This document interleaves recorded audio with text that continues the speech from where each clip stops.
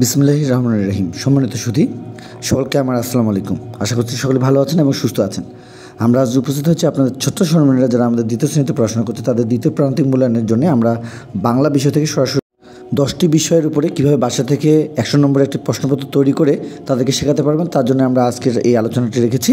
আশা করছি আমরা সরাসরি যে প্রশ্নপত্রগুলো হতে চলেছে সামনে, সে বিষয়গুলোর উপরে আমরা আরও ভিডিও দেওয়ার চেষ্টা করব।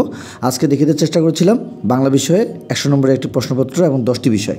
প্রথমত যে বিষয়টি আমাদের থাকছে, সেটি হলো ধারাবাহিক মূল্যায়ন পাঠ্যসূচি ও পাঠ্যক্রম শ্রেণি দ্বিতীয় বিষয় বাংলা। আমরা চেষ্টা করছি আপনাদের সামনে দ্বিতীয় সাময়িক পরীক্ষা বা আমাদের ধারাবাহিক মূল্যায়নগুলো কেমন হতে পারে সেই বিষয়গুলোর উপরে পর্যায়ক্রমে ভিডিও দেওয়ার। আশা করছি আপনারা সুন্দরভাবে প্রথম থেকে শেষ পর্যন্ত ভিডিওতে সময় দিয়ে আপনারা আপনাদের ছোট সময় এই অনুযায়ী প্রস্তুতিগুলো নেওয়ার চেষ্টা করবেন। প্রথমে যেটি দেখতে পাচ্ছি সেটি হলো সংক্ষিপ্ত প্রশ্ন উত্তর লিখন।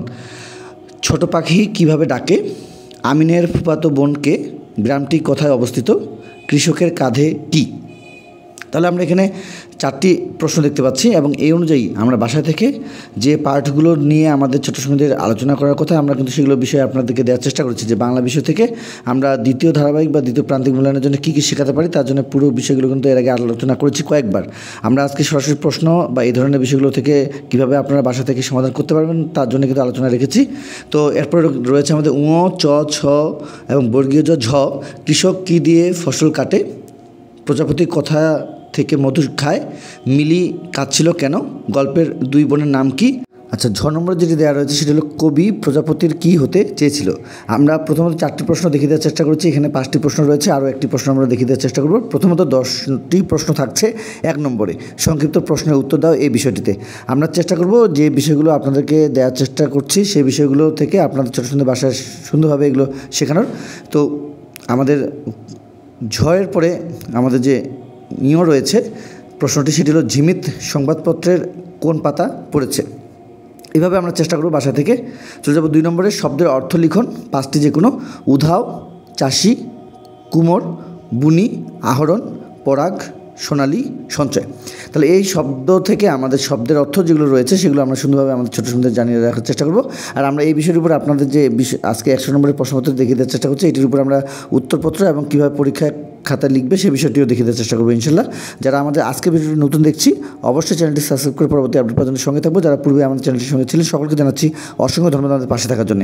তিন নম্বরে বাক্য গঠনকরণ মৌমাছি, রঙিন, পশু পাখি, চাষি, পুকুর মধু। তাহলে আমাদের এখানে দেখতে পাচ্ছি ছয়টি রয়েছে, যে কোনো পাঁচটি বা আমাদের ছয়টিও থাকতে পারে, আবার পাঁচটিও থাকতে পারে, দশটিও থাকতে পারে বাক্য গঠনের ক্ষেত্রে এবং শব্দের অর্থ লিখনের ক্ষেত্রে। আমরা সুন্দরভাবে এই বিষয়গুলো বাসা থেকে সুন্দরভাবে শিখে রাখার চেষ্টা করব। এবং মৌমাছি, রঙিন, পশু পাখি, চাষি, পুকুর এবং মধু, এই শব্দগুলো শুধু নয়, আরও যে অন্যান্য শব্দগুলো তাদের বাংলা বইটিতে রয়েছে, সেই শব্দগুলো থেকেও আমাদের ছোটো সুন্দর বাক্য গঠনকরণের বিষয়টি নিশ্চিত করব। চলে যাব চার নম্বরে, সেটি হলো বাম ডান মিলকরণ।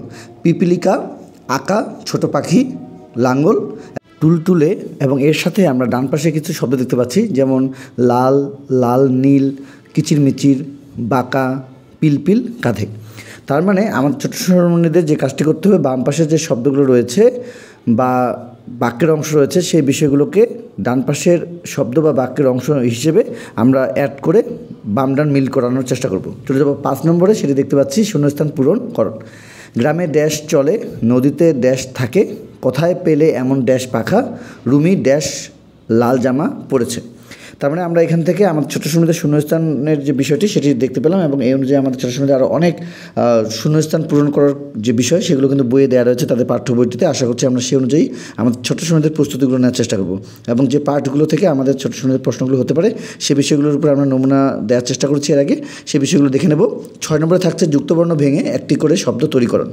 দন্তন্বয় তয় যুক্ত দন্তন্বয় দয় যুক্ত ক যোগ মূর্ধন্যস অর্থাৎ আমাদের যুক্তক্ষ দয় ফলা দন্তন্বয়ে ধয় যুক্ত গয় র ফলা এবং চয় রেফ তাহলে এই, তাহলে আমরা এই যুক্তবর্ণগুলো যেগুলো দেখতে পাচ্ছি, এগুলো দিয়ে যে কোনো একটি শব্দ এবং ভেঙে নিয়ে আমাদের কিন্তু একটি করে শব্দ তৈরি করার যে বিষয় সেটি আমরা নিশ্চিত করব।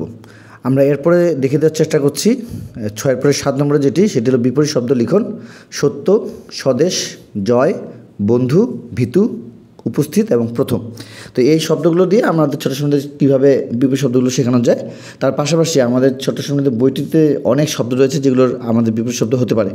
তো তো এই কাজগুলো করব বাসা থেকে, তারা যেন সুন্দরভাবে আপনাদের সহযোগিতা নিয়ে এই বিষয়গুলো জানতে পারে বিভিন্ন শব্দ বা শব্দের অর্থগুলো বা আরও অন্য যে বিষয়গুলো আমরা দেওয়ার চেষ্টা করছি।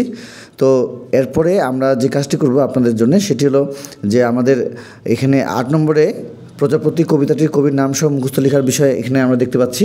তো আমরা এই কবিতার নাম এবং কবির নাম, এর পাশাপাশি যে কবিতার যে চরণগুলো রয়েছে বা লাইনগুলো রয়েছে, এগুলো সুন্দরভাবে তাদেরকে শিখে রাখার চেষ্টা করব। আচ্ছা তো আরও যেগুলো কবিতা রয়েছে, সেগুলো আমরা আমাদের ছোটো সুন্দর জানানোর চেষ্টা করব। এবং এর পাশাপাশি আমরা অনুচ্ছেদগুলো, বিশেষ করে আমাদের এখানে যে অনুচ্ছেদগুলো রয়েছে যে কোনো একটি বিষয়ে অনুচ্ছেদ লিখতে বলা হয়েছে, বর্ষাকাল বা জাতীয় ফল কাঁঠাল বা আমাদের বিদ্যালয়। আপনি আপনার ছোটো সময়তে আরও যে গুরুত্বপূর্ণ অনুচ্ছেদগুলো রয়েছে, তাদের আমরা বিভিন্ন সময় বিভিন্নভাবে এই অনুচ্ছেদের বিষয়ে আপডেট দেওয়ার চেষ্টা করেছি, সেগুলো সুন্দরভাবে আপনারা শেখানোর চেষ্টা করবেন এবং এই অনুযায়ী বাসা থেকে প্রস্তুতিগুলো নেওয়ার চেষ্টা করবেন। তো আমরা চেষ্টা করেছি আপনাদের সামনে সুন্দরভাবে এই বিষয়গুলো দেখিয়ে দেওয়ার। আমাদের পরবর্তীতে আরও যে দশ নম্বরের যে বিষয়টি রয়েছে, খুবই গুরুত্বপূর্ণ, অবশ্যই আমরা দেখব। সেটি হল ফর্ম পূরণকরণ। তো এখানে আমরা দেখতে পাচ্ছি যে নাম, বাবার নাম, মায়ের নাম, শ্রেণি, গ্রাম বা শহর, মোবাইল নম্বর এবং দেশের নাম এবং শিক্ষার্থীর স্বাক্ষর। একপাশে দেখতে পাচ্ছি আমরা অভিভাবকের স্বাক্ষর। তো আমরা এই অনুযায়ী আমাদের ছোটো সময়দের আরও যে বিষয়গুলো রয়েছে, যে বিষয়গুলো খুব সুন্দরভাবে তাদেরকে শেখাতে হবে, যেমন তার নিজের নাম, বাবার নাম, মায়ের নাম এবং শ্রেণি তো এটি থাকছেই, গ্রাম বা শহর, মোবাইল নম্বর এবং দেশের নাম এবং শিক্ষার্থীর স্বাক্ষর এবং অভিভাবকের স্বাক্ষর হিসেবে আমরা যে কাজটি করব এখানে তাদের যেটি বুঝিয়ে দেওয়ার চেষ্টা করব সেটি হলো যে যদি ফর্ম পূরণে কোনো নাম বা কোনো কিছু না থেকে থাকে, তাহলে তার যে নাম সেটি তারা লিখবে। আর যদি কোনো নাম দেয়া থাকে বা শ্রেণি উল্লেখ থাকে বা বাবার নাম বা মায়ের নাম যদি উল্লেখ থাকে সেই বিষয়গুলো খেয়াল করবে এবং দেখবে এবং এই অনুযায়ী কিন্তু এই ফর্মটিতে পূরণ করবে। যদি কোনো কিছু না থেকে থাকে, তাহলে তারা, তাদের স্বাভাবিক যে ফর্ম পূরণ করার ক্ষেত্রে যেটি হয় সেটি করবে, নতুবা যদি কোনো কিছু বা কোনো নির্দেশনা থেকে থাকে, তাহলে সেই অনুযায়ী তারা এই ফর্মটি পূরণ করবে। তার মানে আমাদের ছোটো সময়দের নাম, বাবার নাম, মায়ের নাম, শ্রেণি, গ্রাম বা শহর, মোবাইল নম্বর এবং দেশের নাম, এই বিষয়গুলো কিন্তু আমাদেরকে অবশ্যই আমাদের ছোটো সময় শেখাতে হবে খুব সুন্দরভাবে। এবং শিক্ষার্থীর স্বাক্ষর হিসেবে তারা এই আমরা দেখতে পাচ্ছি যে শিক্ষার্থীর স্বাক্ষর এবং অভিভাবকের স্বাক্ষর যেটি রয়েছে, তারা শিক্ষার্থীর স্বাক্ষরটি শুধু পূরণ করবে বা তার নাম লিখবে, কিন্তু অভিভাবকের স্বাক্ষরটি তারা লিখবে না। তো আমরা চেষ্টা করেছিলাম আপনাদেরকে যারা দ্বিতীয় শ্রেণীতে পড়াশোনা করছে তাদের বাংলা বিষয়ে সরাসরি প্রশ্ন এবং দশটি বিষয়, অভিভাবকদের আপনাদের কী কী করণীয় ছিল সে বিষয়ের উপরে আমরা আজকের এই আলোচনাটি রেখেছি। আশা করছি আজকের ভিডিওটি ভালো লেগেছে। যদি আজকের ভিডিওটি কারও ভালো লেগে থাকে, অবশ্যই চ্যানেলটিতে নতুন হয়ে থাকলে চ্যানেলটি সাবস্ক্রাইব করে নেবেন এবং পরবর্তী আপডেট পাওয়ার আমাদের সঙ্গে থাকবেন। যারা পূর্ব থেকে আমাদের চ্যানেলটির সঙ্গে ছিলেন, সকলকে জানাচ্ছি অসংখ্য ধন্যবাদ আমাদের পাশে থাকার জন্য। তো আজকে এই পর্যন্তই। সকলের সুস্বাস্থ্য কামনা করে, আপনাদের ছোটো সুন্দর সুস্বাস্থ্য কামনা করে আজকের জন্য বিদায় নিচ্ছি। খোদা হাফেজ।